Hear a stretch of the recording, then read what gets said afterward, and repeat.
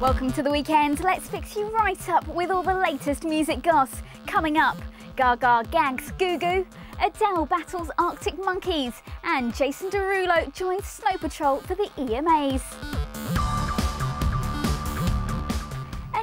Nappy-wearing baby in shades isn't likely to be confused with Lady Gaga, although who knows what she'll wear next. But Gaga isn't taking any chances. She's won a court injunction against the cartoon character Lady Goo Goo from website Moshi Monsters.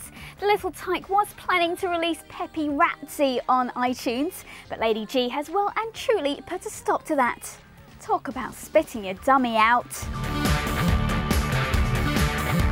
The first AIM Awards are being held in November, but artists are only eligible if they're signed to independent record labels. Lucky for Adele, she is.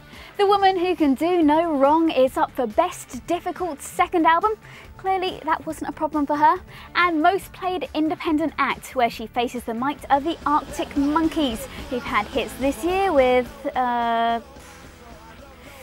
yeah, she's going to walk that one as well. Plus, none other than Bjork is getting the Outstanding Contribution to Music Award.